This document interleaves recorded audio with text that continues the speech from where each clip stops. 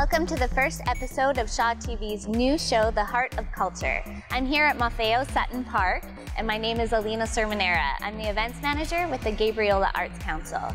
First on the lineup today is introducing the rock and roll band The Stacks from beautiful Nanaimo, BC. They've got their hands dipped in traditional soul blues music, and we want to give you a sample of it right here.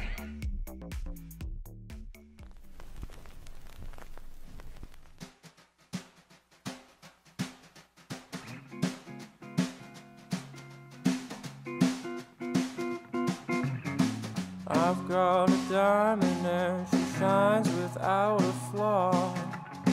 My love for her is justice, my affection is the law.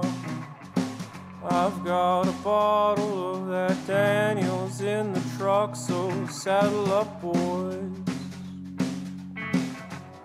Oh, the things I do for love. The Stacks are kind of in your face and raucous. I started out as kind of like bar fight music, uh, but we we wanted to have fun with it, and we wanted it to be something that the audience could have fun with. I mean, it, I think it's safe to say that when we're on stage, we move a lot and we sweat a lot. Live, we try to turn it up a bit and get a little crazier, sometimes a bit sloppier on purpose. As much as it is rowdy, it's also something that's supposed to make people uh, enjoy themselves. So we haven't had a bar fight yet at our shows, and uh, and hopefully we can keep that um, going. Bound by possession and adherence to the cause. I've got a diamond, I can look past all her flaws. Boy, I don't like it when the moon shines in the barn. I said, my, oh my, oh I do for you. have a pretty strong um, do-it-yourself work ethic and sort of a do-it-yourself, do-it-yourself uh, sort of system of beliefs. Um, so what sets us apart is we do have a lot of control over what we're putting out, and that's kind of typical of like a low-level indie band anyway.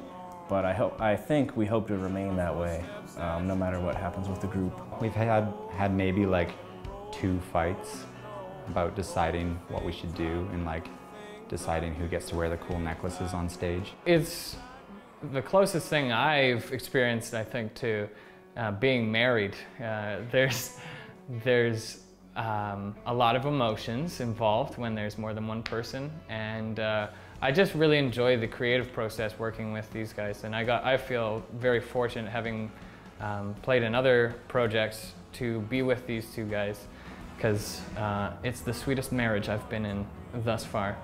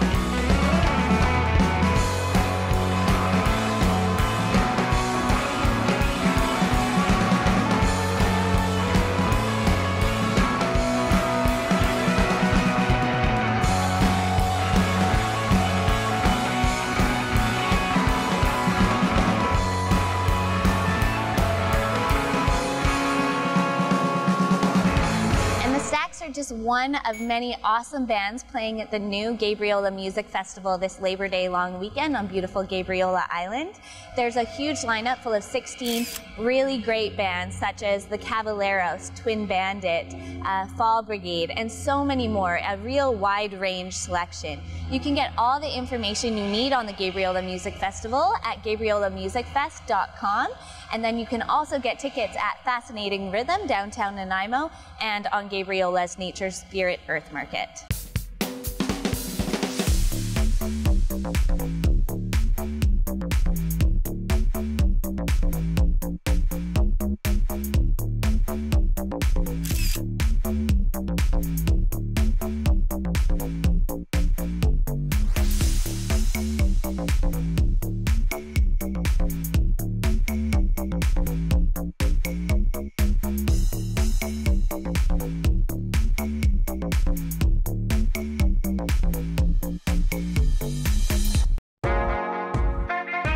This year, Indie Entertainment is hosting the third annual Nanaimo Idol competition. Um, Nanaimo Idol is an all ages competition based solely on talent. So we're not worried really about, you know, your looks or, or um, what you're wearing and, and other things you've done. We're totally basing it on your vocal performance and uh, how well you sing which is, I think, kind of unique because lots of other places you go, and uh, it's based on a lot of other things than just on talent. You told me you loved me. That's all I believe. I wanna come over. One of the great things about uh, Nanaimo Idol is that it's an all ages competition. So whether you are 45 or 50 and you've never been on stage before and you want to give it a try, or you have a six year old kid who loves to sing and doesn't stop, this is a really, really great chance and a friendly way of getting up on stage and uh, giving it a try. So the finals for Nanaimo Idol are going to be held at Maffeo Sutton Park during Marine Fest. Uh, the top five finalists are going to have a chance to perform their songs live with the Femme Fatales.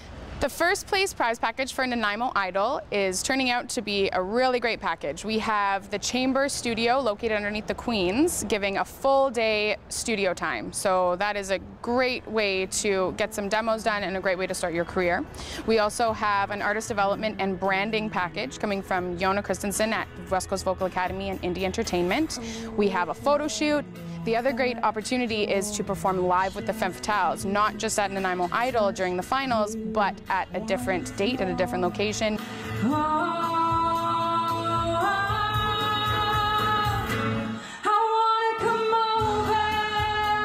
It's a really great opportunity to give youth and people who sing in their showers and who are don't have the opportunity to get up on stage and do that thing that they love, the opportunity to do just that. So that wraps up the first episode of Shaw TV's The Heart of Culture. If you have an arts event or program going on in the community that you want people to hear about, give us a shout. My name's Alina Cerminara, and I'll see you next time.